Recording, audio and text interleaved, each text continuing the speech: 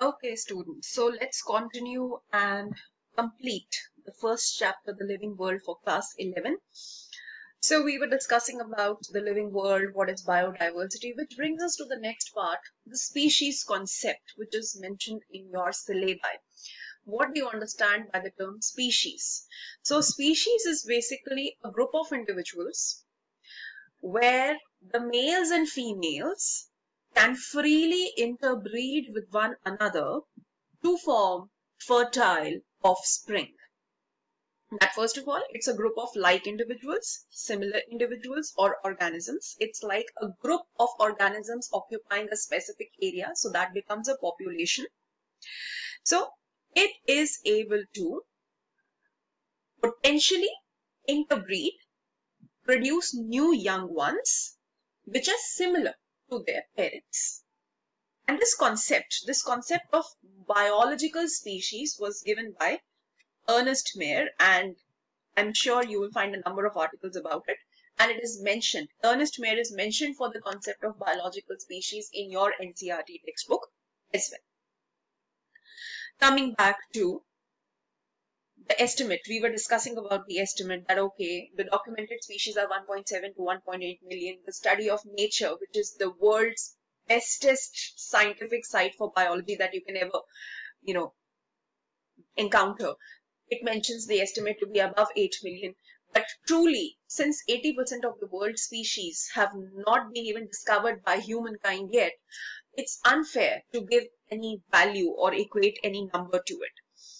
And of course, because this is a mind-boggling range of species and we have so many cultures and ethnicities and languages, one species or group of individuals may be known by different names in different cultures and different countries. For example, mango is mango in English. It is aam in Hindi. It is amb in Punjabi. So I'm sure you can, you know, give me your comments in the section below and tell me what is mango in your native language.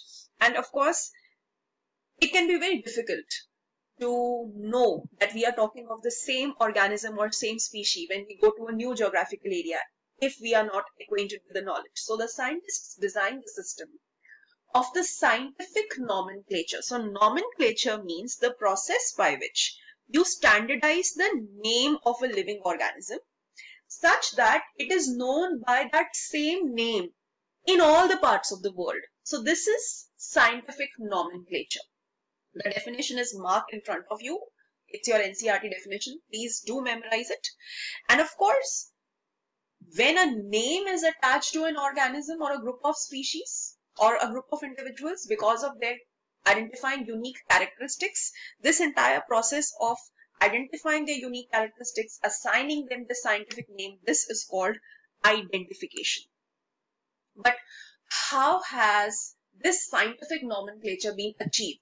So we know that, you know, species are of different types. You have microbes, you have plants, you have animals. So when the plants are to be named, the international organization, which follows some set principles and rules to give you the scientific names of plants, that is called the International Code for Botanical Nomenclature. Very important MCQ, very important one mark question. Animal taxonomist. So taxonomist, a new term. Taxonomist is someone who studies or is an expert with taxonomy. And taxonomy, we will soon be coming across, is that branch of science, life science, which deals with identifying characteristics of an organism, assigning it different groups, categories, and naming it. Right. So for animals, the organization is International Code for Zoological Nomenclature and which organization do we have for the microbial world? Well, this is going to be our special question and you can name, you know, just note it down somewhere. The International Union of Microbiological Societies. So, International Union of Microbiological Societies, you can say, is involved in uh, you know similar studies for the microbial world bacteria and you know monera and protists etc and i'm sure there are a number of organizations which are international and universally recognized uh, for bacteria and protists etc uh, that is your job now. Go and find out their names and memorize them for your NEET MCQs okay. And you know so we have discussed that you know there are plant taxonomists there are animal taxonomists. So which brings us to the fact, what is taxonomy? So taxonomy is the science which deals with identifying, describing, naming and classifying organisms. How do you identify an organism? Because it has some unique features. I recognize a student because they may speak very well, they may write very well, they may be very courteous. So I have associated a unique set of characters with them. Similarly, for living organisms, when you identify the unique features, you describe what those features are. On the basis of that, nomenclature or naming is done. And then you classify the organisms, which means how um, can you categorize them or classify them in a typical group? Why or why not? That would be classified. And when this arrangement has been accomplished, it has been done, and when you then compare groups of organisms and you try to establish some kind of relation, some kind of a relation between them that whether did they have a common ancestor or they came from unrelated ancestors, that science of linking these relationships is called systematics. So there are two terms now, taxonomy and systematics. They are very well mentioned in your NCERT text as well. Please refer to the NCERT definitions and prepare accordingly. So we discussed that, you know, universal scientific names are awarded. So this system was introduced by Carolus Linnaeus and he was a Swede, came from Sweden and uh, he gave the system of binomial nomenclature. So what do you understand by binomial nomenclature? Bi means two. Nomial, name, nomenclature, system of naming. So for example, right now in front of you, you see this. Though uh, it has an error in the way it is written, I'll discuss with you what it is. So by means two, So the scientific name has two parts. The first part is the generic name or the genus and the second part is the specific epithet or the species name sapiens right? So epithet means a description of unique characters right? And of course in that time um, those were the, the times of latin. So Carolus Linnaeus, he was a Swedish explorer and naturalist. Naturalist is a person who studies nature, is an expert in nature, and it was him who is credited with establishing this uniform system of scientific naming and of binomial nomenclature. And he's very popular. He, you know, still one of his publications is revered and read by millions in the scientific world. It goes by the name of Systema Naturae, which translated from Latin in English means the system of nature. So I'm sure, you know, you will come across Carolus Linnaeus uh, and his works. So, and in your NCERT, the rules of nomenclature have also been discussed. The first name is the generic name, the second name is the specific epithet, the system of two names, its binomial nomenclature, and still we have this. For example, mango's scientific binomial name is Mangifera indica. Just look at the way it is written, right? The first thing that you notice is it has two parts, Mangifera, generic name, or genus, indica, specific epithet, the second part of the name. The genus name is starting with a capital alphabet, but the species name or the specific epithet is in running alphabets. They are written separately, there is a space, and they are in italics. Now you and I, when we write on paper, we may not be able to write in italics. So what we do, we do, we will write Mangifera indica or Homo sapiens, which is human beings by the way, our species. And we will underline the generic name and the specific name separately. Okay. And you can very easily go through these four rules which tell you about the nomenclature part and this is from the examination point of view a very important question right and sometimes to credit or to give credit to the scientist who was involved in describing the biological name or you know something with respect to the species the abbreviation of the scientist's last name may be found. So if Carolus Linnaeus is attributed to the scientific name for mango mangifera indica lin dot. So we have abbreviated Linnaeus to lin and this is the way of crediting and you know uh, you know acknowledging the scientist's contribution so the nomenclature part is this but when you have named you have identified now you want to classify. Group these organisms into you know specific categories and groups. How do you do that? So this process is called classification. Classification can be basis on you know can be on the basis of uh, unique characteristics characteristics which are very different for different set of organisms or sometimes based upon affinities or similarities as well. So for example, it is understandable that you are going to club wheat, rice and mango under one group, but you cannot put cats and dogs under the same group. So you are doing some system of similarity and dissimilarity assessment. That is classification. And when you um, assign a specific category. This category is called a taxa, a taxon. The plural is taxa, and this entire system of identify, you know, you know, uh, you know, this entire system of uh, naming, identifying, classifying individuals. This is called taxonomy. So when you assign taxon or taxa or different categories to different organisms based upon their set of unique characters, similarities, dissimilarities. This science is called taxonomy. But when you study the relationships between these different taxa or different organisms, that is called systematics. It's a very common question students ask, ma'am, what is the difference between taxonomy and systematics? So systematics stems out of taxonomy. It is basically an extension of taxonomy. And I'm sure you can give a good read to the NCERT text above and, you know, clarify your doubts.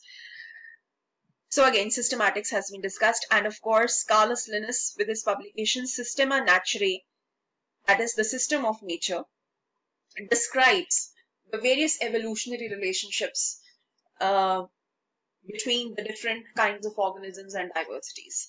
I'm sure these are very important MCQs and they have to be memorized. And last but not the least, the different kinds of taxonomic categories have been discussed in the NCERT. So these taxa or categories are given a hierarchy, which means ranking. So you can either start from the top or you can start from the bottom. I prefer to start from the top. So I'm very quickly going to take you to this page, figure 1.1 and the page number is 10. So this figure is very descriptive. So the first taxa or category is the kingdom. Then you have the phylum or division. Phylum usually in case of protists and kingdom Animalia or animals. Division in case of bacteria, plants, fungi. The next category or taxon is class, then order, family, genus, species. Sometimes the species can also have a lower category so under a same group of individuals, you may have different cultivars or varieties. So your job is go find out what do you mean by a cultivar, what do you mean by a variety. Update yourself with these terms. And in the NCERT, all these taxa and categories have been discussed with definitions. For example, I'll take a very common example with you. Tiger the scientific name for tiger is Panthera tigris. For lion, it is Panthera leo. And for the panther, it is Panthera panthera.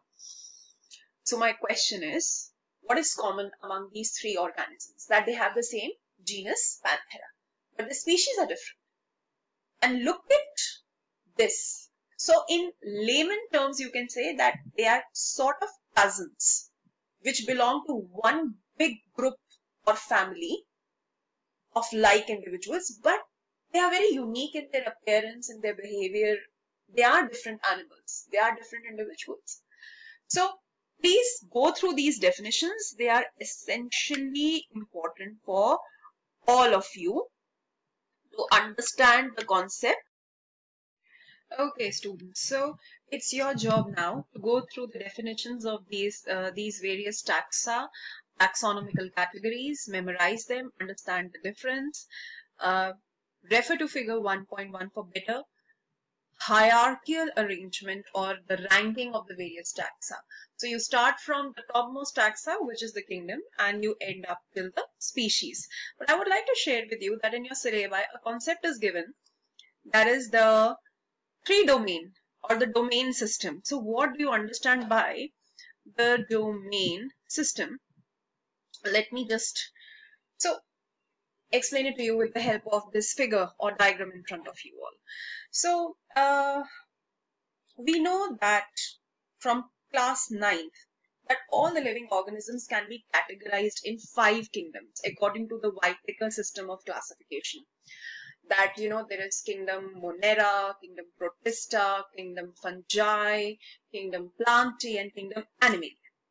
However, that was on the basis of whatever information for the morphology or external form of the body or the anatomy, inner tissue studies, physiology, etc. were known to us for different living organisms. So when the world of biology became alive with the study of the molecules like nucleic acids, like DNA and RNA, proteins, scientists had those tools and techniques by which they could compare the molecules of different organisms. They could, for example, compare the proteins of two organisms and more and establish if the proteins were similar or different from each other. So somewhere around uh, in the later years, there is a scientist by the name of Carl Woese and we'll be talking about it more in chapter 2 who proposed the three domain classification that it is better that instead of the kingdoms, we should begin with the domains. So the domain got added as the topmost taxa. In other words, you can say it like that. So you have three uh, domains. The first is archaea. Then I have the bacteria.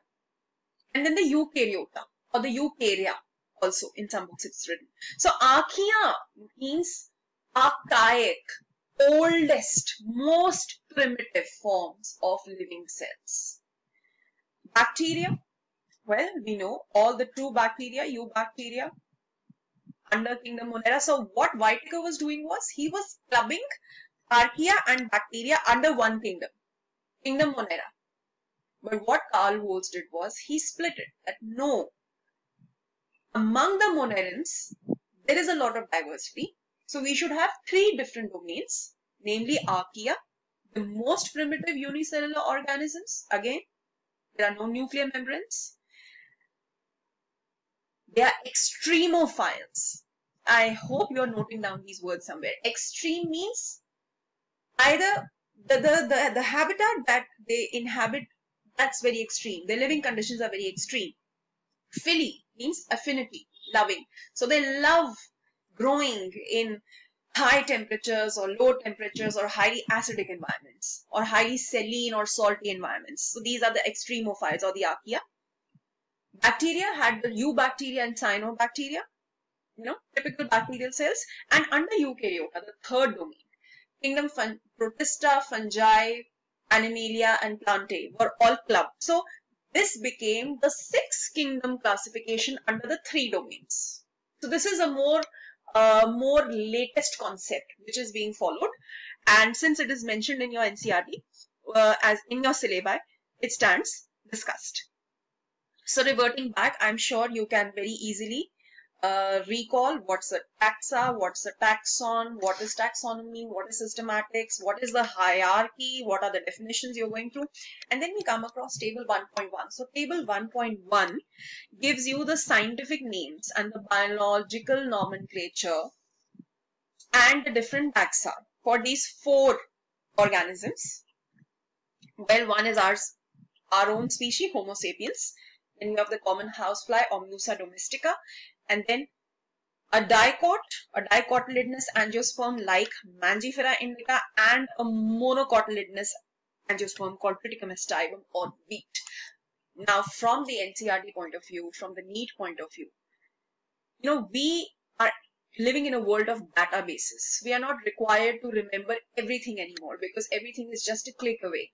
However, from your examination point of view, I would recommend that you must memorize these four living organisms for their taxonomical hierarchical arrangements.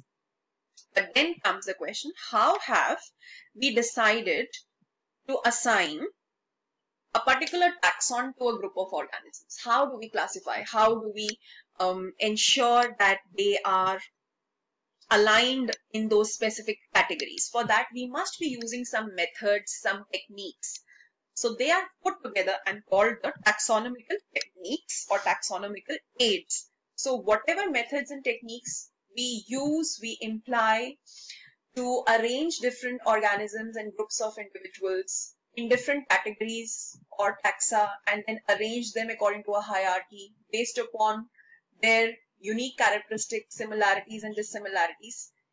These methods, tools and techniques are called taxonomical aids. I'm sure you can go through this.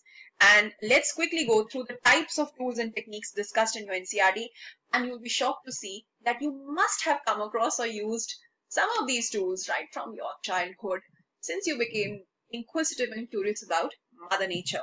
So I am sure all of you have been to a garden or all of you have been to, well, a zoo or a national park or a wildlife sanctuary or some place like this where there's a collection of trees, plants and animals. And you'd be surprised to know you were a born taxonomist. You know, human beings have been doing this, this categorization and this demarcation and this grouping since times immemorial. We don't even know how way back in time can we go and know that. So what are your examination point of views? For example, the first taxonomical tool which has been described in your book is a herbarium. Herbarium, break the word, herb, a collection of herbs. Basically, you, this is a very old technique in which when there were not much internet resources, the world was not in your hand with World Wide Web, WWW, people would go for excursions to far off countries and continents or different states and provinces, which were very different in the geographical areas and climatic conditions. And they would bring or sample plants and animals from there, right? And they would make a museum out of it or a collection out of it. So a collection of plant specimens which have been dried, which have been pressed with something uh, uh, which ensures that they can be pasted on a sheet of paper and further, these sheets are arranged in files and these sheets are basically called herbarium sheets. So this is what a herbarium sheet actually looks like. You can very clearly see that this herbarium sheet has a dried plant specimen. The stem is there, the leaves are there, some the flower was also there it is no longer here maybe it is damaged and on this herbarium sheet it is written which college which state uh, serial number, which plant is it, its classification, who collected it, from where was it collected, etc. etc. So th this is the common information which you will find on an herbarium sheet. Different herbarium sheets compiled in herbarium files, herbarium files stored in a kind of a library of plant specimens. That is your herbarium. So I'm sure you can read about it and gain more information. Many um, college and university library, you know, scientific departments still have these precious herbarium collections. But these days, you know, you have the herbarium in your cell phone. You'll be surprised to know that, yes, try downloading an app like uh, iNaturalist or, you know, plant specimens or animal specimens on Google Play Store or your Apple phones. And you'll be shocked to know anyone can, you know, become uh, a taxonomist by themselves. Just just click the picture of a plant, upload it on a software database, and you will get a number of specific hits as to what could be this plant. So, but you again need a trained scientific eye for that. So, everything now is on your palm in your hand just a click away. So this is what you need to remember about the herbarium sheet, what information a herbarium sheet carries. Then we come to how are living organisms preserved. So this is an organism which is no longer alive. So herbariums are for dried and pressed plant specimens. Museums are for animals, preserved plant and mostly animal specimens. So they have been preserved in preservative solutions like formalin. They have been dried. They are in boxes. Um, now this practice is very rare and very less, but still you may find museums uh, like a museum of natural history. You will find big dinosaur bones arranged in the form of a dinosaur skeleton.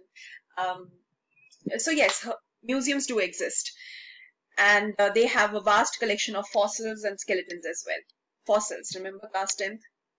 Preserved, highly preserved remains of any dead plant, animal or microbe.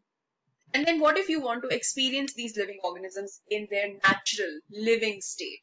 For that we have the zoological parks and the botanical gardens. So botanical gardens is like basically a big area where you have a collection of living plants, different kinds of plants, herbs, shrubs, trees. You can have sections where only bamboos are growing. You can have a lily pond. You can have an area where only trees grow. That is called an arboretum. So what are the important botanical gardens? So the most famous ones are the Royal Botanical Garden at Kew, England. Then we have the Indian Botanical Garden at Howrah, India and the National Botanical Research Institute, Lucknow, India. So I hope you will memorize these three botanical gardens for your MCQs, for your NEET. And I will take the liberty of showing you how you can visit the Royal Botanical Garden sitting at your homes and take a virtual tour. So this is the website for the Royal Botanical Garden Kew, London, which has the world's collection of 50,000 living plants and this has been declared a World Heritage Site by UNESCO. You can just visit their website and click their virtual Kew tour will begin and you can because of corona a lot of stuff is right now not open so are these botanical gardens and you can take a quick um, you know tour these botanical gardens. Isn't it lovely? You don't even need to be at London to experience this beauty of Mother Nature. So I'm sure you will explore the website on your own.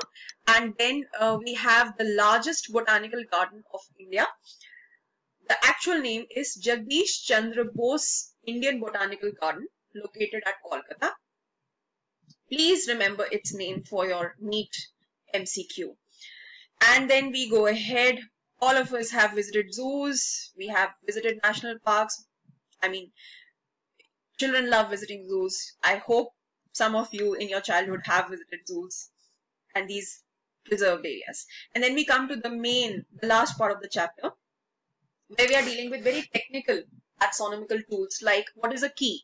So key is a taxonomical aid in which you have um, on the basis of the similarities and dissimilarities of living organisms, you have a pair of contrasting characters. So you have a question which gives you two choices. Basically a pair of contrasting characters. This pair of contrasting characters is called a couplet. A couple, a couple from a couple, a couplet. And this represents the choice that you have to make. For example, go out in the garden or look at a potted plant and ask yourself, the first question or the first couplet would be, can you look, can you visualize it with your naked eye or do you need a microscope? You say, no, I don't need a microscope. I can see it. The next part, is it fixed? Is it moving? Is it green? Is it non-green? So likewise, you eliminate the wrong options and you keep on going down a key. And I'll just show you what a dichotomous key actually looks like. So it's something like this. So you will just have a better view if I zoom it in for you. And look at this now. Okay. So you ask this organism in front of you. Is it a plant? Is it an animal? Okay. If it is a plant, you will eliminate the other contrasting character immediately and you will proceed in this direction. Then what kind of plant is it? Is it an algae? Is it a bryophyte? Is it a pteridophyte? you know, what kind of a plant is it? So taxonomical keys work on the basis of elimination and selection principle. I'm sure when you read the NCERT text, you will gain. So I'm sure uh, you will now take on these definitions head on from the NCERT for the different tools and techniques which help you arrange different living organisms in different categories or taxa.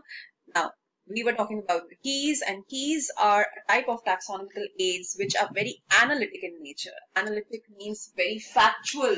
They are going to assess facts and there cannot be two different ways around the same question. So you will have to choose the right option and move ahead with it. And I've already shared the image of a taxonomical key with you previously. And of course we have four new terms over here namely flora, manuals, monographs and catalogs these are also, you know, documented ways or taxonomical tools by which you can easily help in identification and categorization. The definitions are also mentioned over here. I leave you with their memorization. Remember the tips and tools I have shared with you. Solve the NCERT bag exercises. They are very, very essential. I hope this repeat tutorial after my Cisco class will help all of you who had missed the class and some new users to gain some clarity in the way you are going to cover the first chapter, the living world in class 11 biology. And I hope this is a helpful tutorial. Thank you. Till next time.